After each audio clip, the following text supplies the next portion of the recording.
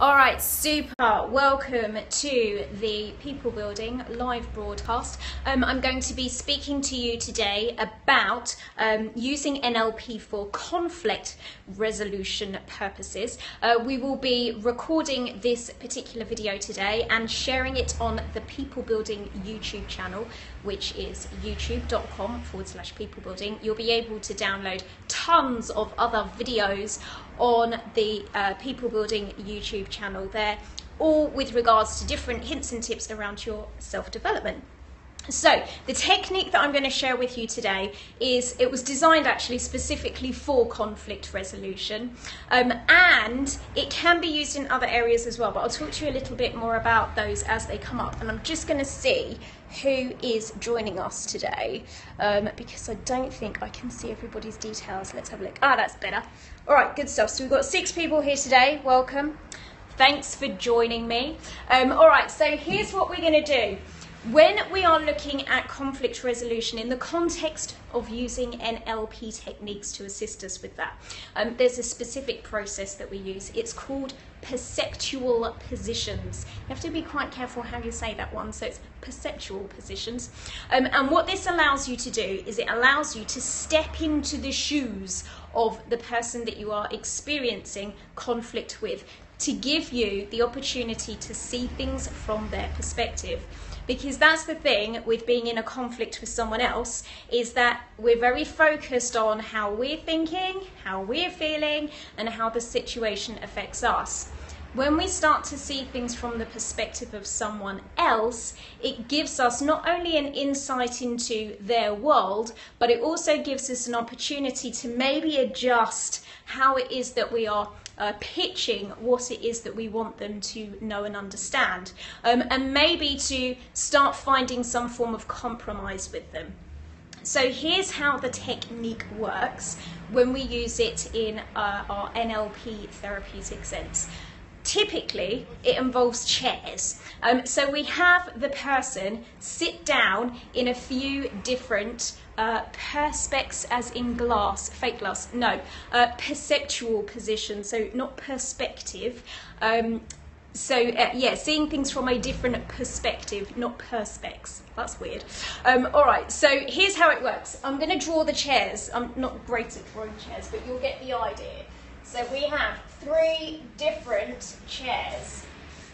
So there's the backs of the chairs and the arms of the chairs. So you can see how they're laid out. That's like a bird's eye view looking over the top of the chairs. So we have chair number one, we have chair number two, and then finally we have chair number three.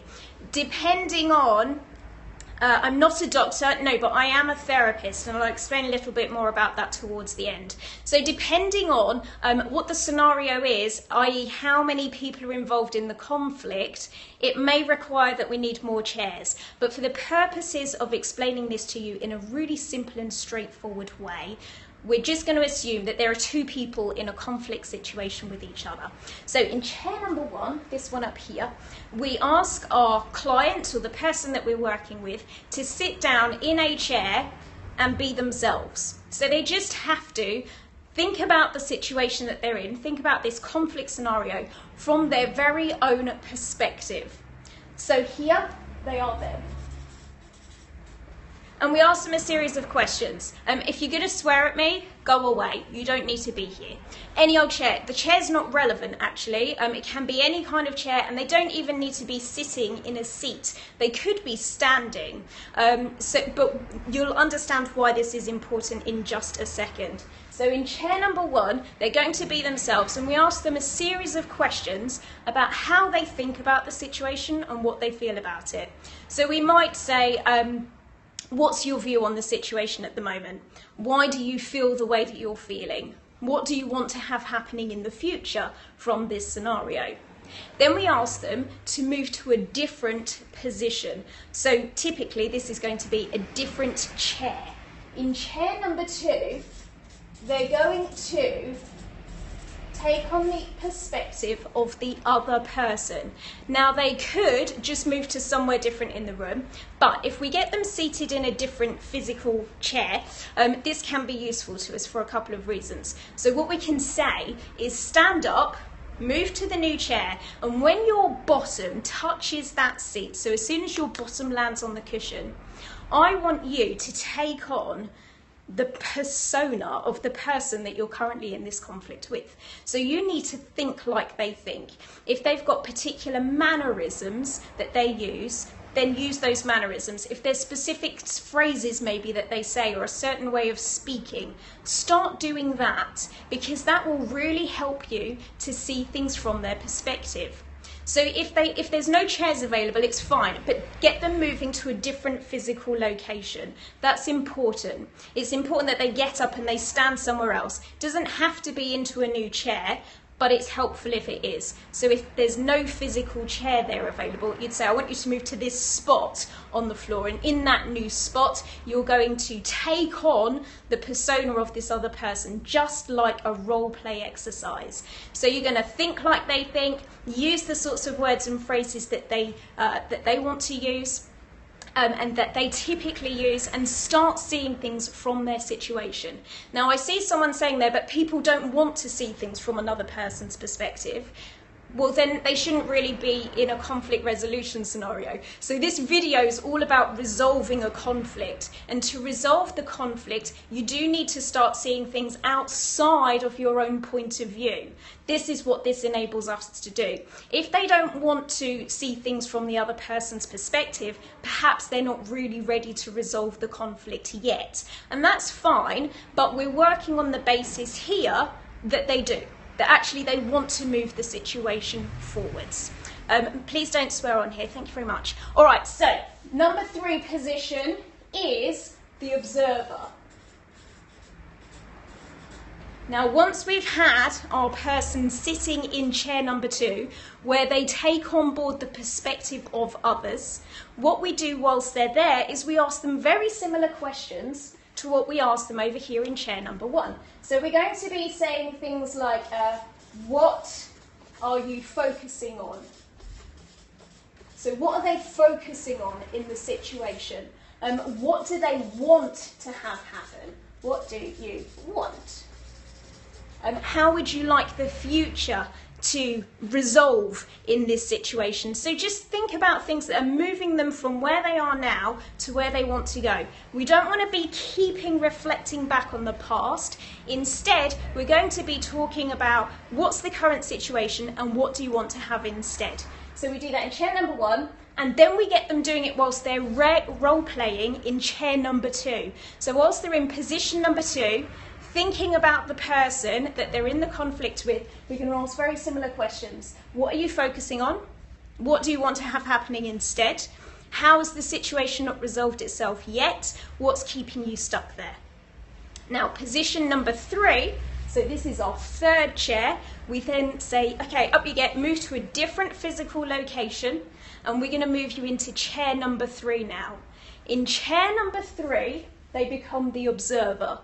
And the observer is someone who is completely unattached to the situation. So, just as if we went out onto the street and had someone who came in and had watched the scenario so far, they'd heard about the person talking from their own perspective, and they'd heard about them talking from the point of view of the person that they're in the conflict with. And they're going to give a completely outside view of the scenario now. So, just like you guys are here, it's not taking sides necessarily. It's actually more about, okay, I've heard what that person said, I've heard what that person said, and here's my separate and humble opinion. So they have to be quite detached from the situation as they do this. So, same sorts of questions, except this time we're going to be addressing the observer.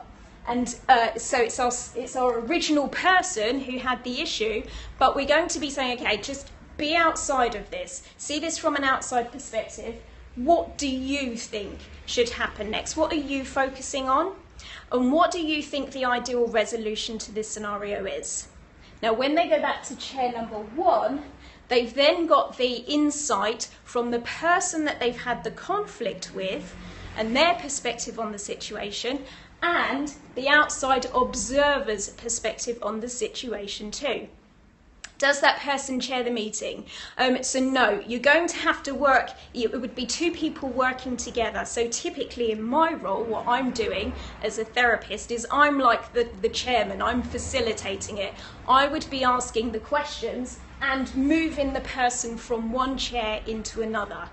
If we don't have chairs available, then we would just move them physically around the room.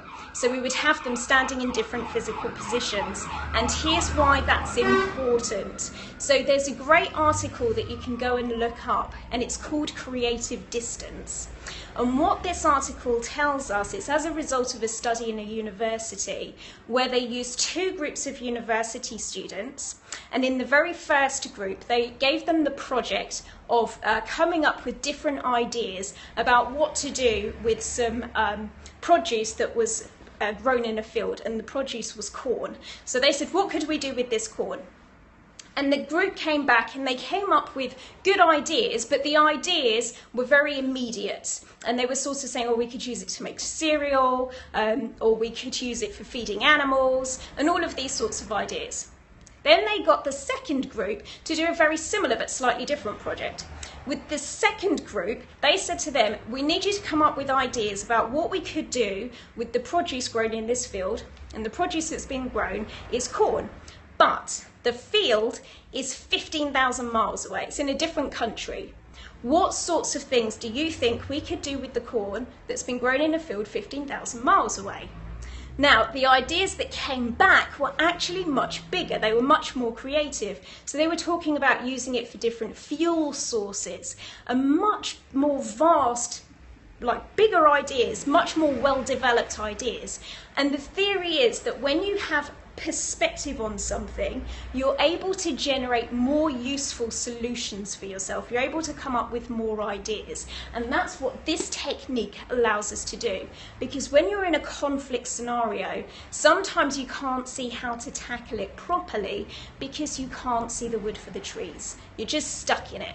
You know, sometimes you can't see past your own thinking. Whereas when you step out of it and you're forced into a situation where you role play as someone else or you have to become an observer and have a slightly more impartial perspective on things, then it allows you to get some creative creative distance on it is the technical uh, terminology around it. So we're giving people the opportunity to develop creative distance on their conflict scenarios and to come up with better solutions that they perhaps wouldn't be able to access if all they were doing was stuck there being themselves and stuck in chair number one. So that's how the technique works. You don't need the three separate chairs, but you do need the three separate perspectives. If they don't reach a solution, that's a really good question. Here's what you can do um, you can build more perspectives into this. So I use this technique quite often with children uh, because children are always getting themselves into conflict scenarios. Um, and what you can do with kids is to really play with it. You can do things like, okay, well, what would the perspective be of uh, a superhero that you really like? What advice would they be giving? What would the advice of your teacher be? And get them to really step into some alternative roles and to give themselves some feedback that Because the great thing with this is it's not then you saying, I think you should do this. You need to take this next step. Sometimes people can be a bit resistant to advice.